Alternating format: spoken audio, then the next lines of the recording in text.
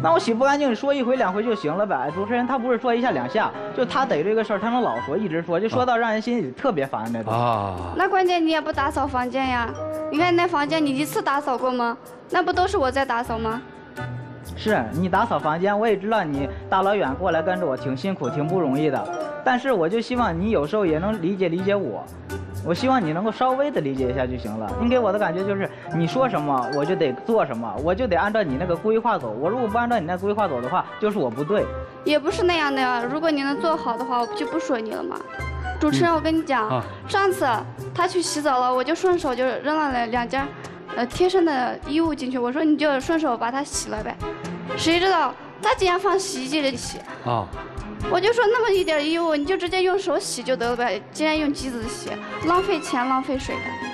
他不会过日子的，知道吧？啊，啊，我又不会过日子了。我带你没事儿什么的出去吃饭或者什么的也挺好的吧。我就觉得现在我工作各方面都在慢慢的变好了，对你好一点，你倒好。你觉得你就除了舍得带我吃饭，你什么你哪都对我不好。什么叫好？那你现在对我挺不耐烦的，尤其你打游戏的，你现在陪游戏的时间都比我陪的多。我想跟你好好说两句话，你就老在打游戏。你打游戏的时候，我跟你说两句话，你就对我不耐烦，你就老骂我。不是，我现在基本上就是几天打那么一两把吧，不是总打吧，就业余时间娱乐一下、休息一下也不行啊。那业余时间你陪我一下我吗？没陪过你吗？陪我了吗？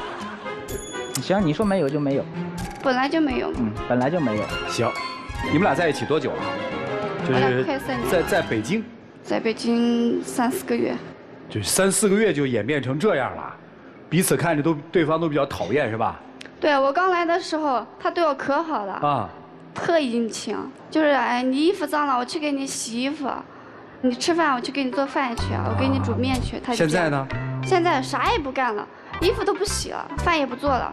然后锅呢，我让他去刷，我稍微说话狠一点，他就说不刷了，你爱刷不刷，不刷就那样撂着去吧不。是，我说了，我说你别老催我，就吃完饭就在那放着，我一会儿肯定会去刷的。但是你就老那么说我，你就越说我，我就越不耐烦，就越不想去嘛。哎，我问问啊，三四个月前为什么能做到那么殷勤？三四个月后为什么就不殷勤了，兄弟？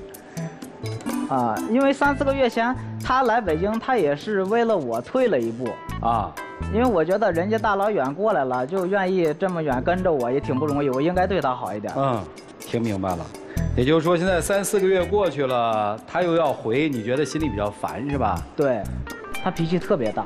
当时第一次吵架嘛，他就是非要回家，就收拾东西，东西都收拾好了，行李箱什么的都回准备好了青海是吗对，非要回老家那边，就怎么着也不在这边。回了吗？